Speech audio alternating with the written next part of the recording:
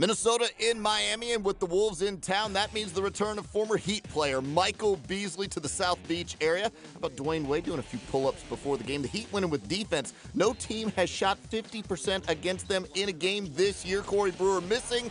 And there's Michael Beasley in the first quarter with the huge rebound jam. That's one of two from the field if you're counting. That's 50%. Second quarter action now, and it's LeBron James doing what he's doing best in Miami, passing this over to Mario Chalmers for the three. LeBron had 12 assists on the game. Miami up 36 31. And there's the guy with the best job in the NBA. It's James Jones. Just stand outside and knock down open threes. He was three of nine from range on the night. Later in the second, scary moment for Michael Beasley. He goes down hard on this play. Chris Bosh makes contact with him.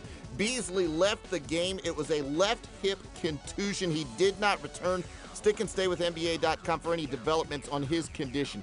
Dwyane Wade all the way to the rack. He was hot for Miami, 12 of 17 from the field. Chris Bosh gets the block on Kevin Love. Dwyane Wade the other way, and the rookie Wesley Johnson trying to go up and stop D Wade, and that is a mistake. Wade had 26 points for the game, 52 44 Miami in front. We take it to the third quarter, and LeBron James just weaving his way through the Minnesota defense. Watch him use the left hand there, 7 of 12 from the field. Miami cruising 83 58, and they're playing defense. Wesley Johnson, welcome to the NBA from Dwyane Wade, and welcome from LeBron James. Huge block on that play, and LeBron with a little stare later. LeBron fade away jumper. That's a new part of his game. 20 points on the night. LeBron then to beat the third quarter buzzer, pull up jump shot. That's the punctuation. Miami goes on to win this thing by 32 points. Final score 129 to 97.